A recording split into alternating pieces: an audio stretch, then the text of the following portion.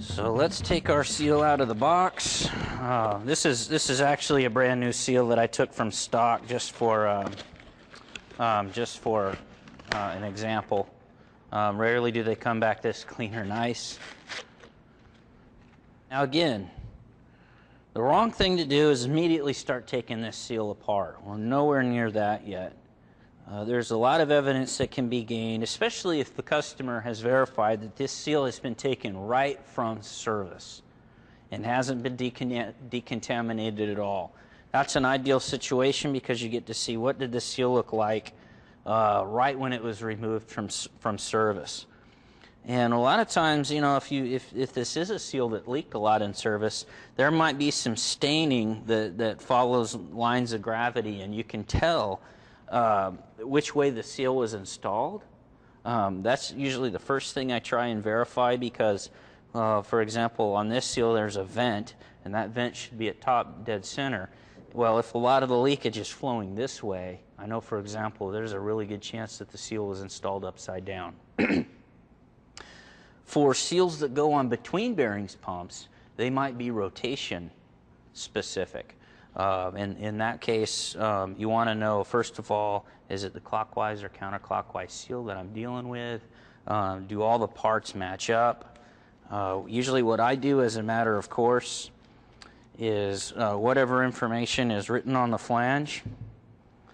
Uh, for, exist, for this example, 0038 Burgmann, Cartex ABDN, 1.750 inch. I usually, I usually record all that information uh, just as a just as a practice. The other thing, uh, you know, before you start to disassemble the seal, uh, if the seal is marked with an ident number um, or a drawing number, now is a good time to verify that you do in fact have the right drawing of that. Uh, where a lot of people get a bit off track is if this seal, I mean, this may have come from service and may have been installed five years ago. There's a good chance that it's not the same most current revision.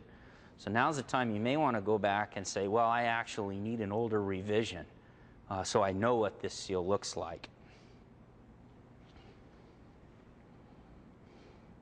A few other things you want to do before you start disassembling the seal. One thing I do, where the seal is bolted up, I like to look for witness marks of that bolting. I can kind of, usually I can tell if maybe they used washers, maybe they used um, uh, cap screws, maybe they use studs and nuts. Uh, you know, is it even? Uh, for a seal like a Cartex where it's, it's just a flat gasket, you don't need a whole lot of compression. What you want to look for is really deep grooves where somebody really torqued down the bolts.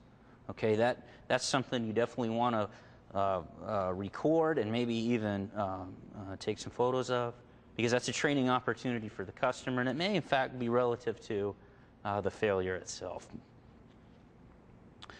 Uh, unfortunately, in the service center, we still receive a lot of seals that don't have their setting plates back in them. That's unfortunate, but again, that's also a training opportunity to tell your customers you really should always put the setting tabs or, or assembly fixtures back on the seal before you remove it from the pump. Because a lot of times these guys say, hey, you know, this seal's failed. I'm not going to hurt it. I'm going to get a pry bar or, uh, or even a claw hammer or something and just rip that seal off of there. They may do a lot of damage to the seal that you may misdiagnose later. Uh, I, I, I, see that a lot.